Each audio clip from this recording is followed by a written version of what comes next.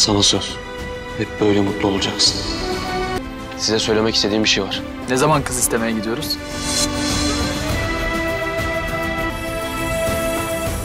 Ah be gülüm. Kor ateşler koydun yüreğime. Kara beyler kan davasını bitirme kararı. Ananın katilin ayağına mı gideceksin bana? Hello everyone, I'm here with a new video. We witnessed romantic moments in the last episode. The relationship between Baran and Dilan is slowly coming to the point we want. But that guy who took the photo really worries me. We'll find out who these guys are next week. From now on, wedding preparations will be waiting for us by Baran and Dilan. That's why we will witness fun episodes together. On the other hand, Kudret's beginning to speak is a big deal. As you know, thanks to Dilan's efforts, Kudret has improved greatly.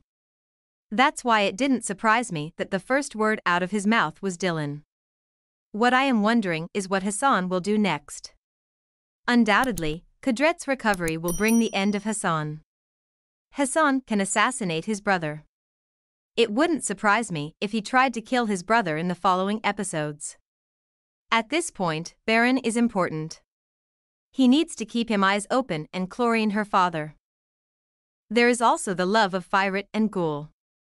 I think Firat is in great regret. So it should be. I've said it before. I hope Gül won't forgive Firat when the truth comes out. I am very angry with that last move of Firat. Even if Gül forgives, I don't think I will. What do you think about this subject? Please do not forget to write your comments in the comments. I expect 2000 likes for my video from all Bloodflowers lovers. You can be notified of new videos by subscribing to the channel and turning on notifications. Goodbye.